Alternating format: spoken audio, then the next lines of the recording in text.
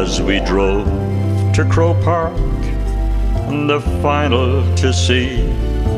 Our friend Dan O'Hanlon says, Listen to me.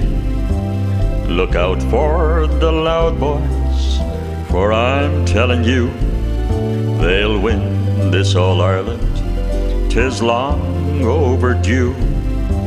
The experts all say we're on the small side, but the small man can humble the big fellow's pride with Louth's fighting spirit between you and me. We can topple the giants from the banks of the Lee.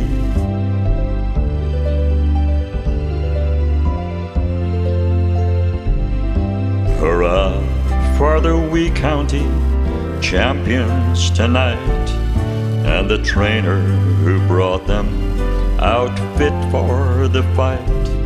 May youths coming up follow on in their wake to win further honors for the wee county's sake.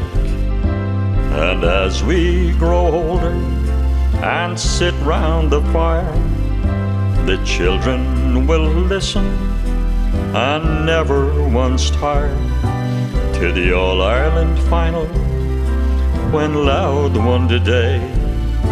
The names of each man and the place he did play. We're here in Croke Park, the ball's thrown in. Sure, I felt from that moment the Louth boys would win. They were first in the air, they were first on the ground. From goal line to goal line, each player was sound.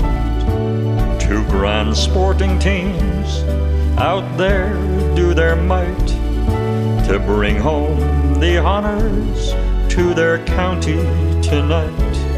In the years that do come, they forever will see how we topple the giants from the banks of the Lee.